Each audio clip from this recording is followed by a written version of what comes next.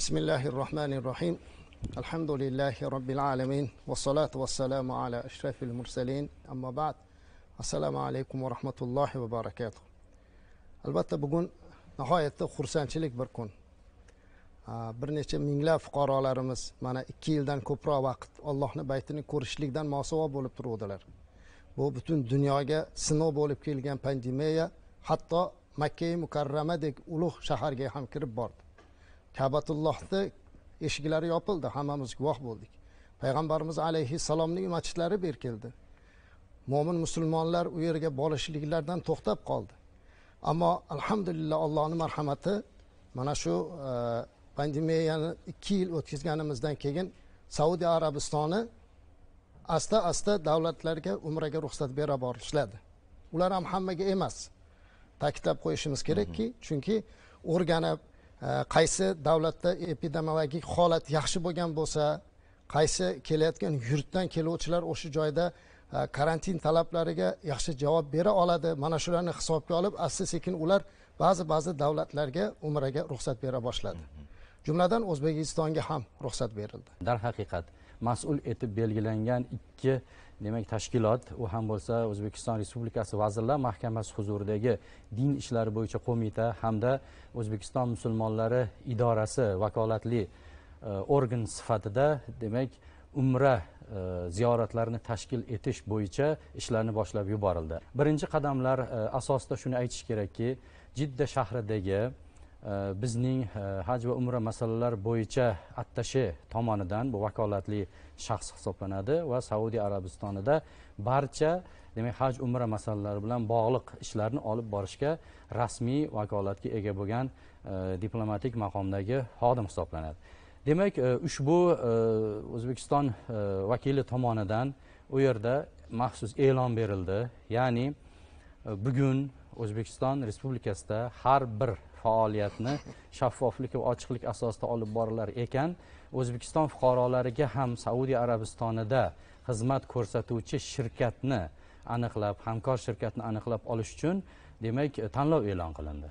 Tanlov e, demak bir qancha e, talablar asosida e, demak haj va umra masalalari bo'yicha vazirlikni tegishli saytlari orqali e'lon qilindi. Va bunga o'ttiz to'qqizta shirkat tomonidan talablar kelib tushdi saudiya arabistonida ishtirok etish uchun. Ishtirok etish uchun. Va birinchi saralov ishlarini mana muftiy hazratlari bevosita xabarlari bor. Demak o'zbekiston manfaatlari nuqtai nazaridan saralov ishlarini jidda shahrini o'zida olib borilgan. U yerda attashemiz tomonidan. Va buni natijasida yigirma beshta shirkat o'zbekiston tomonidan qo'yilgan talablarga javob berishga harakat qilamiz. Harakat qilamiz degan nuqtai nazardan demak murojaatni ular taqdim etishdi. o'ttiz to'qqiztadan o'ttiz to'qqiztadan yigirma beshta qoldi. demak raqamlarga e'tibor beramiz.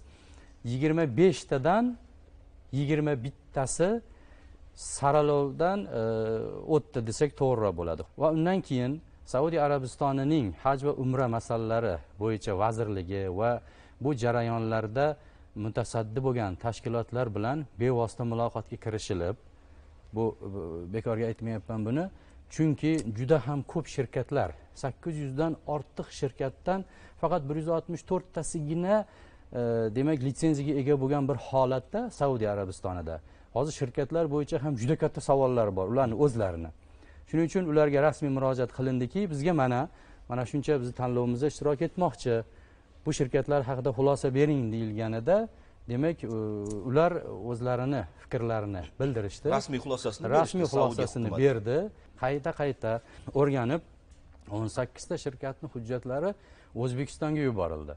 Bu yerda ko'rib chiqildi komissiya tomonidan e, ayrimlarini demak faoliyatlari bo'yicha savollar paydo bo'ldi. Saytlar orqali faoliyati orqali boshqa boshqa e, demak ular haqidagi e, ma'lumotlarni jamlangandan keyin asosiy bitta maqsad u ham bo'lsa eng loyig'ini topish degan bir e, masala turardi. Va e, mazkur o'rganishlardan keyin ochig'ini aytsak joyida borib o'rganib ko'rmasa bo'lmaydigan holat paydo bo'ldi. Ya'ni haqiqatdan ham shu mehmonxona e, shu shirkat tomonidan o'zbekistonlik ziyoratchilarimizga taqdim eta olinadimi?